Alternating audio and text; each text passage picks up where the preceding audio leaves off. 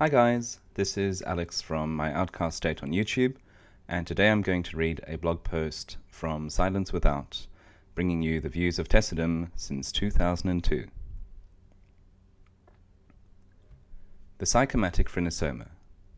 The psychomatic phrynosoma is most often found in the abdomen, particularly in the stomach, but has been known to roam about the digestive tract and guts according to the stability, or lack thereof, of its immediate environment. Eggs are introduced to the host via oral injection, usually riding in upon words that the host does not wish to hear, or that perhaps herald further words that the host does not wish to hear. As these words traverse the airways, they trigger various timers and countdowns that will either terminate in their own time or at the behest of external interference. Once the eggs are deposited in the head, they will remain dormant until mindscape surrounding them is at an appropriately fruitful and tense state, at which point they will hatch and begin their journey south into the literal bowels of their host.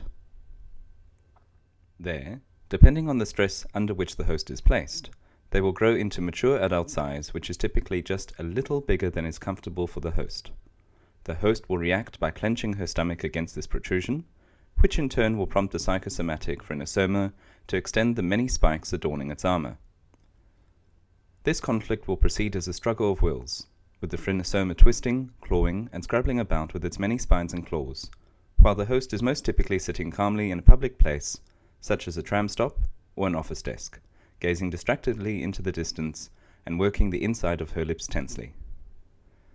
The psychomatic phrynosoma causes no physical damage.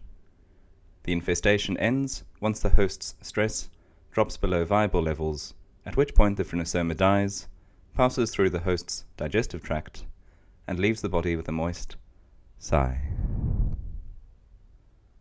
The common name for the psychomatic phrynosoma is anxiety. Thanks, Tess.